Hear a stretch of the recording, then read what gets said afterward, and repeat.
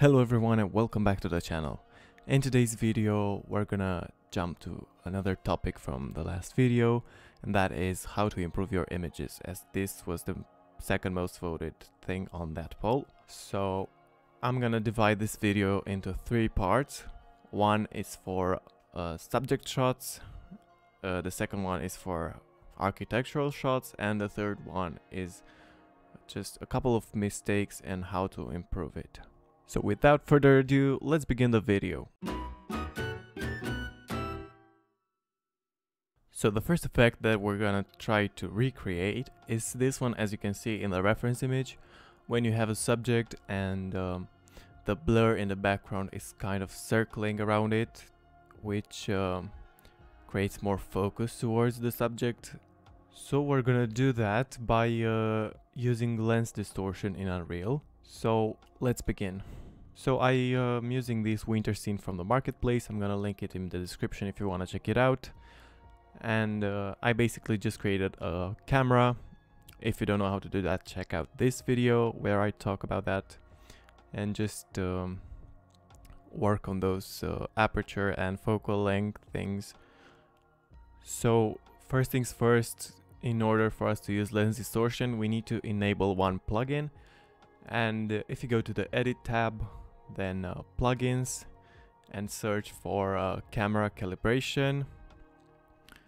Enable that and then restart your engine and we'll continue from there. Do keep in mind that we're going to use this for the second uh, part as well. So very important. So you're going to notice that after you restart your engine, if you click on your Cinecamera Actor instance, uh, in that plus add button, if you click on it and search for lens, uh, you're gonna see that a new lens component pops up and it automatically adds it to your uh, camera. Okay, so after you apply the lens to your camera, if you select it, you're gonna see that this property panel pops up. And uh, here we need to adjust some settings. Now you can see that we have a lens file that we can add I usually use those anamorphic lens files that uh, I showed you in this video right here, if you want to check it out. Those are really great. But uh, for this video, we're gonna do manual tricks to this. So we're not gonna use any lens file, but just so you know. So the first thing that you wanna do is you wanna change the evaluation mode from use live link to use camera settings so that it will uh, gather all the information from our camera component like uh, focal length and aperture and things like that. And um, we're gonna adjust the distortion based on that. Now down here in the distortion source we don't use a lens file. If you do you leave this on. If we're gonna go manual just change it to manual. And a few parameters will pop up after you check the apply distortion and um, you check the lens model to whatever camera you're going for.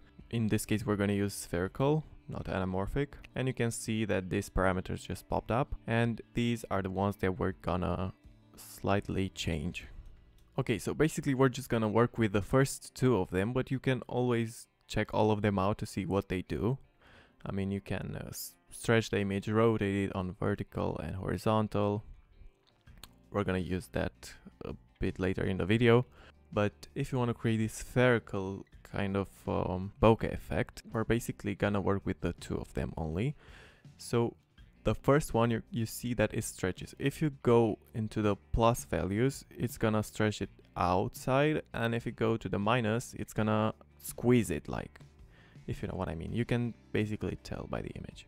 And you can see that the effect is kind of pronounced and a way to counteract with that is by uh, going to the second option and bumping that up. So it will uh, create a more subtle effect, but still keep those bokeh effects. And if you click on this apply distortion button, you can see that it uh, you can preview the distortion on or off to see the difference. I think that's pretty cool. So I found that a value of uh, minus 0.65 and uh, a 0.65 is pretty good. You need to play around with this so to get the result that you want. But uh, I wouldn't say to go for lower than minus 1 at first and 1 at the second one. I mean, it depends, but the first one is the more important, so don't go below minus 1, I suggest, only if that's what you really want to do. Now here's a little preview before and after the distortion. Tell me in the comments which one you think looks better. So we're continuing with this winter scene where I'm gonna show you how you can achieve that vertical tilt correction because this doesn't have a default button that you can just switch on and off like other softwares do. So we're gonna have to do it manually. This is what architects and designers most uh, use because it creates a more dramatic look to the image than the three point perspective one and um, if you're trying to find a solution and you didn't until now, you've come to the right place. So there's a few ways that we can do that. One is uh, by just taking a three point perspective photo and uh, then doing it in Photoshop, like stretching it out to uh, make those edges a bit more parallel to each other. But that's not really a good idea, and uh, if you stretch the image, you basically lose pixels, so that's not not a good one. Then another one is inside of Unreal, which is based on the Cine Camera Actor, so basically, if you click on your Cine Camera Actor instance, then go into the Transform tab in the Rotation panel, you're gonna see that if you change the middle value, it will change the rotation on the vertical axis. And if you set that to zero, then it will automatically create all the uh, edges that are going up to be vertical. So this is uh, basically a two-point perspective view. But what I don't like about this is that it cuts off the top and it's uh, giving us more at the foreground of the image and basically we have to go into the filmback settings as you can see and change the sensor height to be able to capture all the details that uh, we had. But this is uh, a disappointing one because after this you have to calculate your pixels, your render shot, then going into Photoshop or whatever and cropping the image and it's it's a bummer. It's just it hits you in the head and it's it's not a great solution. So instead we're gonna use the lens distortion like we did with the previous part. So let me show you how it's done. Okay, so we're going back to the lens. Then in the distortion uh, parameters, you're gonna want to set them to default. Just click on that uh, arrow on the right to set them to default values. And for this type of shot, we're only gonna use the P1 value and the first one from the FX FY. So as you can see, if we drag this slider, it will rotate the image on the vertical axis and uh, that way we'll be able to control the vertical lines. The second one is for horizontal, but we're not going to use that. So for my shot, uh, I need to use uh, negative uh, values here so that it will uh, stretch my uh, vertices up. And you can already see that are they are vertical, but the image is very distorted on the edges. And that's where the FXFY value comes in after you completely adjust the P1 value, you go to the FXFY and uh, pump those values up so that the edges, left and right, as you can see, they, uh, they'll be taken down, uh, down to the ground and will create a natural look. After you play with those values, you can see that the image is still distorted. Now you can use the first parameter to stretch out the edges a bit if you don't like that effect. I personally like it, but if you don't, that's fine. You can always do this. And you can see that it's a pretty good result.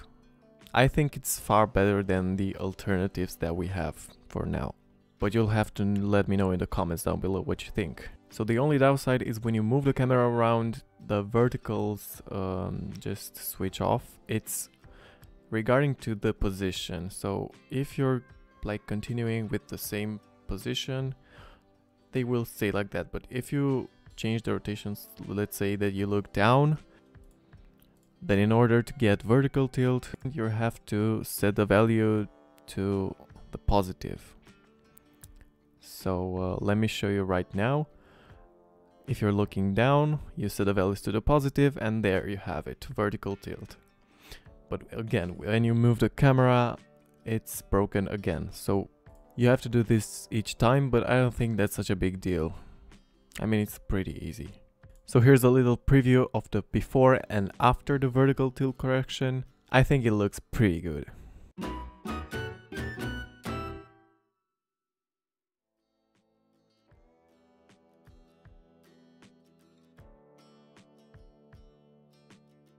We're gonna continue with the post-production part.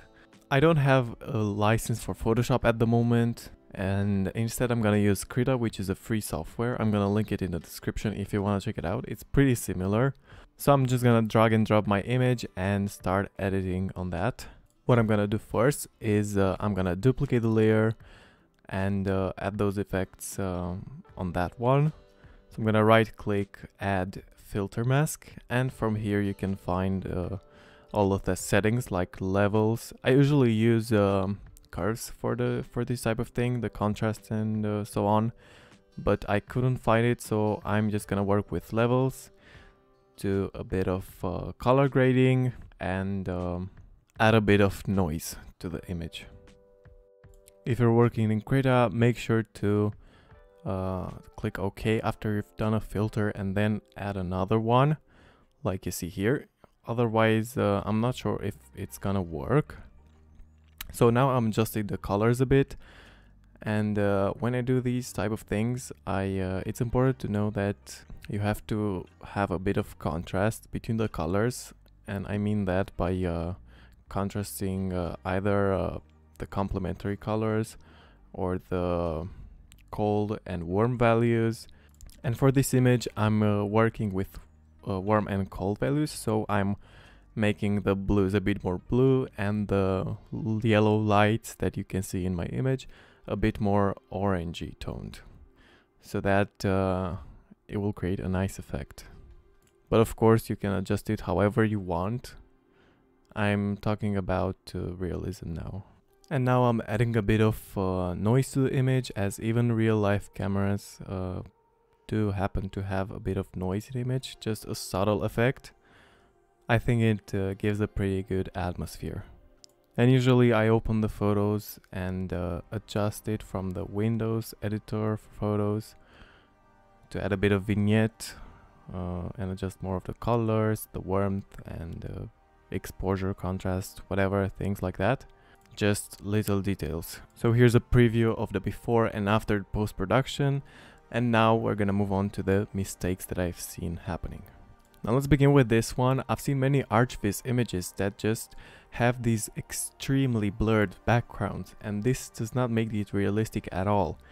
When uh, this thing happens, it sort of creates a very stylized look and it sort of imitates a real life uh, 3D model like of a building, not an actual building. So in order for you to make it realistic, try to do it like this with uh, less blur in the background as it will be more uh, accurate.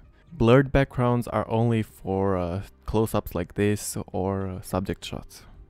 The second one is not using bokeh at all. You can see that the image is very flat, the subject is not separated from the background and uh, your eyes just focus everywhere and uh, cannot find a point of view. So just enable those uh, values. I suggest you use real life camera values so that you get a natural look. For the third one, I suggest you use lens distortion almost all the time. I mean, this is a photo I took of my desk with my phone. And you can see that these edges are very rounded at the top and bottom. And that's distortion. So even real life camera has that. So you need to enable that in order for the image to look realistic. The next thing is enabling motion blur whenever you have to. For example, this car scene that I made for this video, if you want to check it out, is in motion, so it will have a bit of motion blur, so it looks more realistic. So the last thing that I want to say is always add a bit of post-production to your images as it will improve it. I know this was a bit of a long video, but I think I covered a lot of good points. And let me know in the comments what you think and what would you like to see in the future and I'll see you on the next one. Have a great day. Goodbye.